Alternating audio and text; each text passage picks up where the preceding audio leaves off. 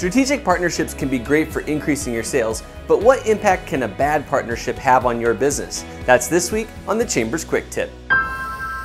You're watching the Chambers Quick Tip. And now here's your host, Brian Rossman.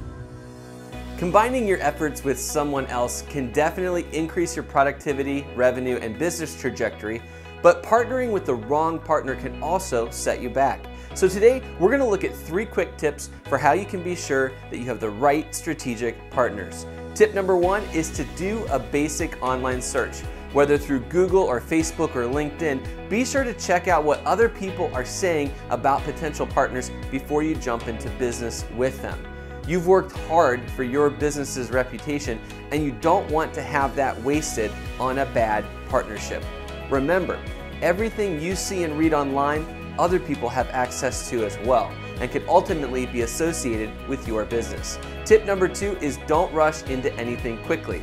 The best thing you could do is set up a trial period of time that allows you to work with your potential partner before anything is finalized. It's much easier to break something off before full blown agreements are put into place. When you take time to see how things will work between your two companies, it gives you the opportunity to identify challenges that need to be worked through and then address them.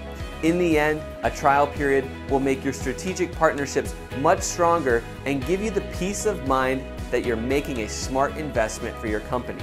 The final tip, tip number three, is that once you're comfortable with the partnership, give it 100%. Focus in on making sure that you do everything you can to help move the business forward. And hopefully, if you've done your research and taken time to see if it makes sense, you'll have found a partner who gives 100% just like you do. When two compatible businesses come together, exciting things can happen and real growth can start to take shape. Thanks for watching, and we'll see you next week here on the Chambers Quick Tip.